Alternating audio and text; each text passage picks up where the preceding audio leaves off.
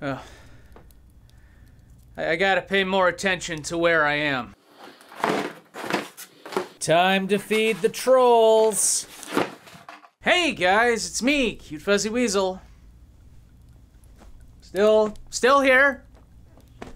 Still underground. Hooray for underground, miss! Merry underground, miss.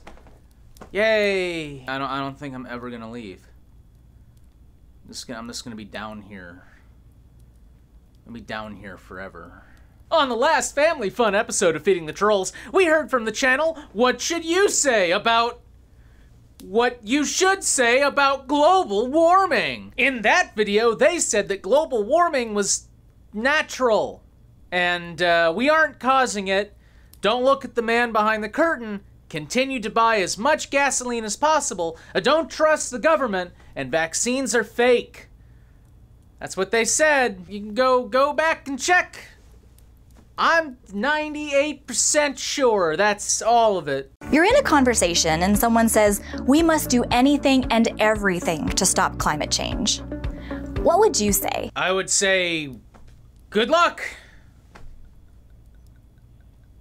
You're not gonna succeed, but good luck. In the last video, we discussed two questions that can help us really understand the current situation about climate change. That's a weird way of saying that you lied about the data. What it means that the Earth is warming, It means things are bad. and whether or not the warming trends are the result of CO2 emissions. They are, but again, you were too busy lying about that, so. Once we understand the issue of climate change, we need to understand what solutions are being proposed. As of right now, the solutions are running the gambit from do nothing to do just slightly more than nothing. Here are two questions to ask. First, we need to know is climate change bad?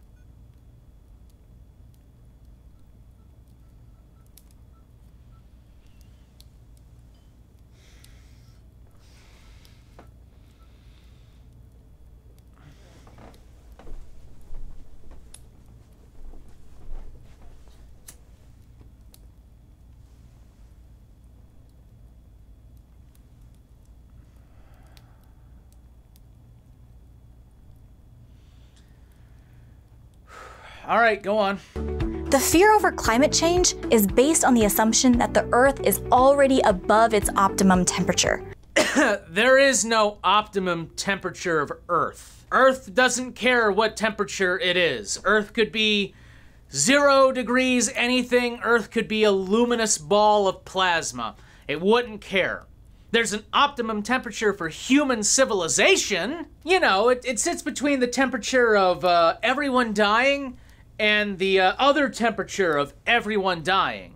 But we don't know what the Earth's optimum temperature is. Okay, well, um, here's a great way to figure out if you're at the optimum temperature. Um, if it's so hot that your crops are dying, there's no rain, and the sea level keeps rising, you are not at the optimum temperature. I, I know it's hard to process that. I get it. Little, little too much information to go in there, but roughly speaking, if uh, if you can't um, survive, that means it's either too cold or too hot. For all we know, the optimum could be even higher than where it is now. Why are you just standing there? My house is on fire! Hey, you need to calm down there, little man, alright? We don't know what the optimum temperature of your house is. What are you talking about? For all we know, your house's optimum temperature could be a thousand degrees. We don't know. So while we figuring that out, Frankie there's gonna be throwing more gasoline on your burning house. But that's just gonna make things worse! Do you know that for a fact? Maybe throwing gasoline on your house will make it better. If so, then a little warming would be good. But what about all those warnings of quickly rising sea levels, You mean what's actually happening? stronger and more frequent hurricanes, You mean what's actually happening? mass starvation, You mean what's actually happening? a spike in insect borne diseases, You mean what's actually happening? drought, and more? You mean what's actually happening? Actually, those are predictions about what warming could lead to. So far, none of these doomsday scenarios have happened. Were you people just living under a fucking rock in 2020? You are literally showing a picture of a fire. Were you not paying the fuck attention to Australia? None of these predictions have happened. Yuck. For example, sea levels aren't rising any faster than they have been for hundreds of years. Not only are sea levels rising faster than previously, they're rising faster than we thought they were gonna rise. And we're not getting more or more intense hurricanes now than in the past. Except we literally are. Just more news.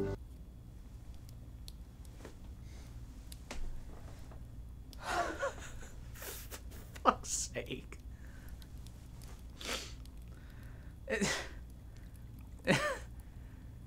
you guys remember during the the the start of this pandemic when there was this thing going around online in right-wing spheres that uh, we're not getting there aren't more cases of coronavirus people are just reporting on them if we stop reporting on them, the number of cases will go down. Do you guys remember that? There's this thing called object permanence. Remember, too, that as CO2 levels in the atmosphere have gone up, we've achieved the highest standard of living in history. I know you're all very concerned about my drug problem. But let me tell you something. Since my heroin usage has gone up, I've never been happier. This is good news. This is good news. That's good news. That they're going on is good news. That's good news. Oh shit. This that's also good news! Even though the quality of life on Earth is better in some places than others, especially those places in the world that are being the hardest affected by climate change, it's better everywhere than it was in centuries past. Look, okay, you guys need to calm down. I get that sea levels are rising. We've got microplastics in everybody. Um, crop failures are occurring all over the world. There's less fresh water and there's less forests, and there's more carbon dioxide. But hey, at least it's not the 1300s. Am I right, folks? Come on. Come on, everybody. Lend a hand, everybody. Come on. Hey, it's not the 5th century BC. Hey, hey. Come on, you got you got to give it. You got to give it up for that, everybody. Come on, everybody. It's it's not literally the Stone Age. Come on.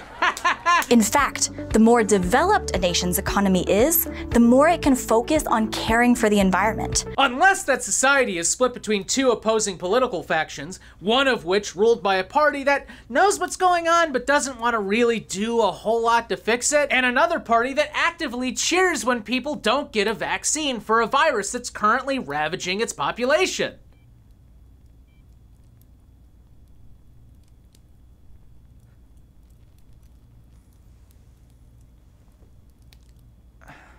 So, development may not be the chief threat to the environment. Well, you can't be a threat to an environment that's already been destroyed. It may be its chief solution. Yes.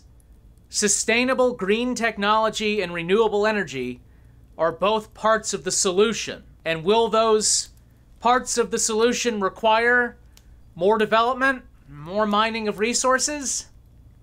Unfortunately, yes. And there are things we can do to get resources somewhere where we don't have to worry about trashing the environment. We don't really need to worry about CFCs and carbon monoxide out in the asteroid belt. This is kind of why I get a little bit annoyed when people look at like what SpaceX is doing in Blue Origin. They're like, look at them wasting resources up there while we could use them down here. And while I do agree that the thing between Branson and Bezos was just two billionaires seeing whose dick was bigger. We need to get resources from elsewhere. And any technology that we can acquire that will make that process easier, that'll help. But you know another thing that'll help? regulation. Part of the reason we're in this mess is because of unbridled, unfettered capitalism, stomping and destroying everything in its path to make profit. And that's something we gotta put on a leash. I'm not saying get rid of it. I think capitalism is a force for good when it's controlled in the right way. But I am saying that just letting people do whatever the fuck they want whenever they want because money, that's gonna kill a lot of people. And it's gonna make a lot of our planet literally unlivable. I really don't mean to be a doom scroller here. This is just. It's just hard to not be when I'm dealing with these people. It just is. Besides, it's not clear that increased CO2 in the atmosphere is a bad thing. Here's a scientific paper that says it is. Future me will find it. I don't feel like Googling just like blatantly obvious shit. So, future me, I'm sorry. Fine. There's a paper. Shit, there's another paper. Fuck. There's a bunch of papers. Sorry, future me. Over the last couple of decades, as carbon dioxide levels have gone up, so has the so called Leaf Area Index. In other words, the planet has gotten so much greener that satellites can detect it from space. You know, satellites are really sensitive pieces of equipment, especially the research satellites that are used to calculate the LAI. So, just throwing it out there, the fact that the satellites can detect when things change isn't surprising when that's what they're designed to, do. That's like saying, wow, look at this thermometer. It's so amazing that the temperature has risen so much that this thermometer that was built to detect when a temperature changes can detect it when a temperature changes. Amazing. Here's the thing, and also fuck you for making me do work, but here's the thing. From what I have been able to gather, the leaf area index does go up as temperature increases short term. So, as areas with ice, let's say, when that ice melts, it exposes ground. And when ground is exposed, plants tend to live there. So, as glaciers melt and expose the surface under them, plants take root. Yeah, there's going to be a green bloom in those areas temporarily. However, once the glaciers melt in those areas and fresh water becomes unavailable due to, again, those aforementioned changed weather patterns, once those areas stop getting rain, they start to, uh, die. And once those areas die, the LAI goes down. So, saying, well, hey, plants like carbon dioxide, let's all go breathe at a plant. That's uh that's not how climate change works. Sorry. This should be no surprise. After all, carbon dioxide is plant food. However, carbon monoxide, ozone, methane, and CFCs are not. And as far as we know, there aren't many plants that can actually metabolize microplastics or toxic industrial waste. Um, and regardless of whether or not a plant gets carbon dioxide, there's no fucking water, it's not gonna matter. And actually, and this kind of hit close to where I used to live, if it's the wrong kind of water, that can bring up a lot of issues too, like what's going on in North Carolina with these woods die offs near the coast. See, as climate change happens and sea levels rise, salt water gets moved inland, and the salt leaches into the soil and kills everything that's not adapted to all that salt. Uh, so, you know, it's it's not it's not like a dial where you just crank the CO2 up and you get green. You know, more CO2, more heat, more green. Less CO2, less heat, less green. It's it's more of a crazy merry-go-round where you just throw our children on it and then you use a motorcycle to spin it until they go flying off in some direction and you just hope they don't land on spikes. While temperature changes can improve certain things, it can also cause certain problems. Greenland, for instance, was once much greener. And people used to be able to live in Madagascar. And the Hoover Dam used to have water behind it.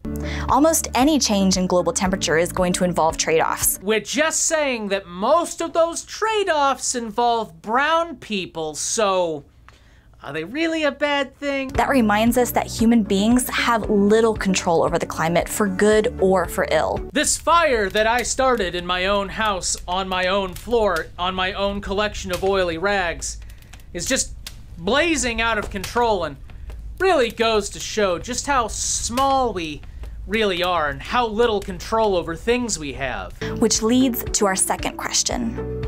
Would the proposed solutions help? In the same way that getting off your ass and doing one push up a day will help.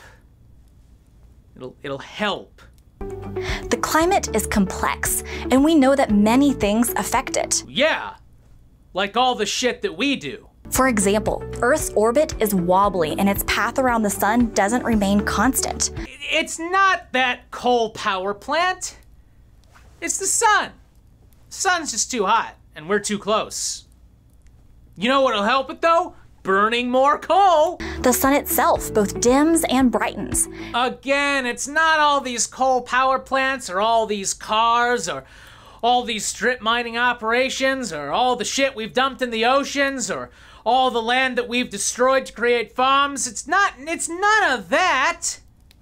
It's uh the sun, you know, it's it's got a dimmer switch and they got a they got a grip off stage just going like you know it's that it's that guy let's we gotta blame jerry blame J- jerry Jerry, what are you doing with the sun's dimmer switch, Jerry? These factors are all outside of our control and they affect the climate. Yes, factors outside of our control, such as our orbital wobble and the brightness of the sun, yes, they also affect our climate but so does all the shit that we do. And all the shit that we do is what we have control over. It's like, you know, a lot of things can make someone wet, like rain. We don't necessarily have control over the rain. But we do have control over whether or not we pee ourselves. Even if we knew we were the sole cause of the current warming trend, do we know what the right response would be? Okay, sir, good news. We've determined that your house is not optimum temperature. That fire needs to go out. Thank God! All right, get the water on it. Now, now, hold on there, buddy. We don't know that putting water on your house is gonna put out that fire, though. We need to investigate alternative theories. Maybe, for example, the house would go down in heat if we burned things around it. By signing a UN treaty called the Kyoto Protocol, countries agreed to reduce their CO2 emissions to levels about 5% below what they were in 1990. The United States received a great deal of criticism for not signing this treaty. The US didn't sign the treaty because China wasn't included in it, and we also didn't want to spend the money on enforcing it but we actually came closer to complying with it than most, if not all of the countries that actually signed it. And by closer, she means we tried until 2001 and gave up. And by all the other countries, she means all the other countries that also just kind of gave up. The plan just wasn't politically feasible. Oh, sorry guys. Fixing your situation would just not be politically feasible. And even if it were, the UN's own economists stated that full compliance with the Kyoto Protocol would have only slowed the predicted rise in the global temperature by 0.05 degrees Celsius. Oh, all right. What should you say? You're, I guess, suggesting then that any plan that comes out needs to have higher targets. Well, I agree with you there. It should have much higher targets. And yet it would have cost between 10 and 50 trillion dollars. So what? Really? No, honestly, so what? You're splitting that bill between all the countries that signed on to that treaty. And it's not like we don't pay that much in shit anyway. Look at our fucking defense budget. But it might be a good idea for us to hang on to that since we're likely to start going to war over water soon. On the other hand, the dramatic change in economic activity related to the coronavirus will, by most estimates, reduce CO2 emissions by 5% in 2020 alone. The coronavirus pandemic will likely cost the US economy more than $16 trillion and has resulted in the deaths of over 400,000 Americans. To reach that projected 5%.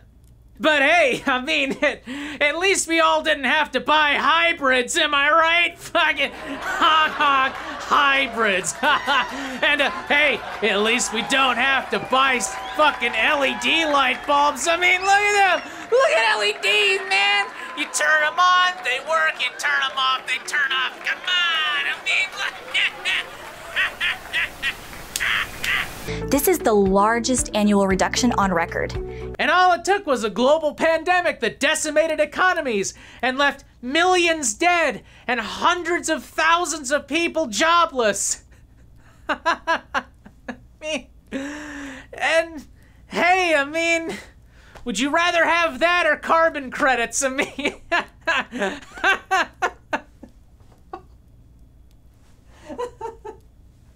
Or is, is this fucking channel for real? Are you people for real? Did someone actually write that with a straight face like, fuck, no one's gonna fucking believe this shit? Is it, like...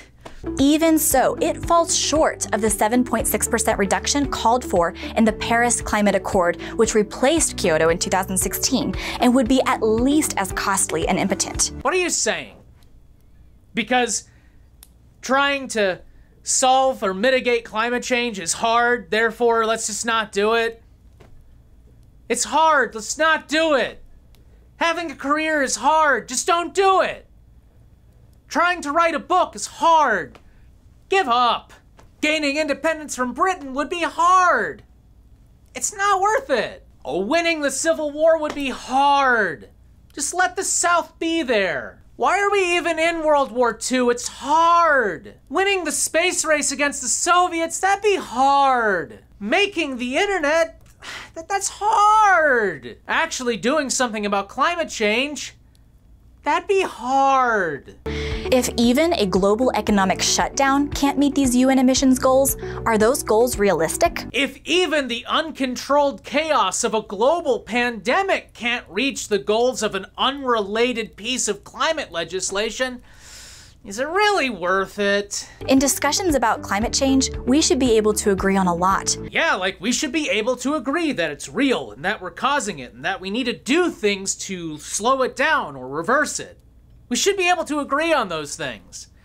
Uh, but we can't because of you and people like you. We want a clean environment. I want a clean environment. I don't know what the fuck you want. But we must understand the problem and we must understand the solutions that are being proposed. And if those solutions require us to do anything, then maybe those aren't the right solutions. So the next time you're in a conversation about climate change, don't watch this video. Anyway, this cute fuzzy weasel, uh, if you like that video and you want to see more, comment down below, subscribe, hit that bell icon, and hey, if you really want to help out this channel, you can be a donator, donor, donor, nah, don't. You can be on Patreon for a dollar, like these people and I'm filming this episode um, right after uh, uploading the last episode, so um, I, I don't like I don't know what the responses on Patreon are going to be. So as of this moment, I'm still doing the role. Next episode, if people want me to say their names, I'll say their names. But uh, you know, there you go. Yep. And as always, have a good day.